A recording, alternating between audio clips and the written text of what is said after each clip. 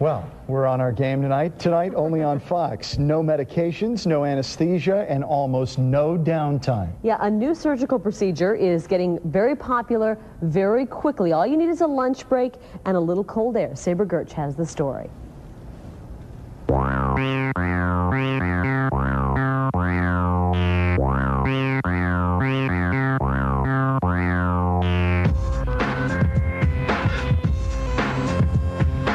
It's a rugged terrain that you'd like to think is scratching the surface of some planet sitting in our solar system, but it's not.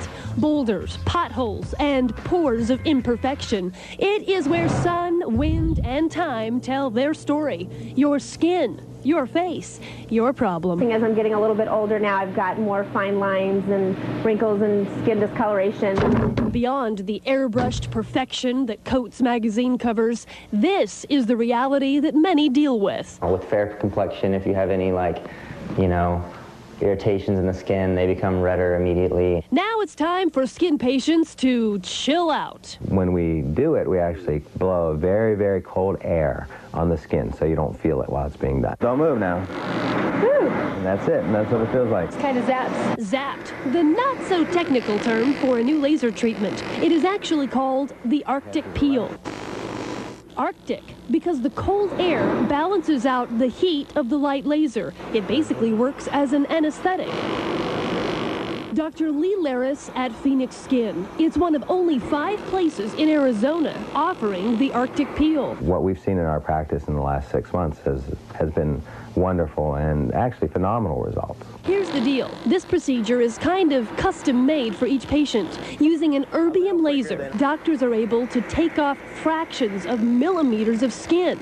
It paints the skin more precisely and evenly than other lasers. It's so specific, we can, by the micron, we can take off more and more and more depending on what we're trying to do. A layer of skin is like this notepad. Each sheet is a micron. When sun, age, and imperfection scribble on the surface, the Arctic peel polishes that scribble away, shaving off the imperfections micron by micron.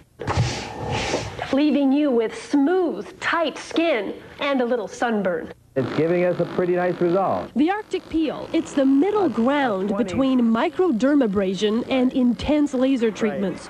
Dr. Laris claims it is five times stronger than microdermabrasion, and unlike most lasers, this technique will not put you into hiding for weeks of recovery. There is no scarring, scabbing, and virtually no downtime. This is, I think, the best of both worlds. It lets us peel enough away that you're getting a result, uh, but it's not peeling so much that you have to hide out for 10 days. I'm wondering what it's going to feel like. Steph, we're going to go pretty quick here. Not even 15 minutes later, It just feels um, a little tight right now. It stings a little bit. Brandon Gresham used to suffer from splotch. Two hours later, I could already see the result, and I was already actually like thinking about when could I get my next one done. Five months later, I remembered it was there, but I mean, I didn't remember it was that apparent. here's his before and after.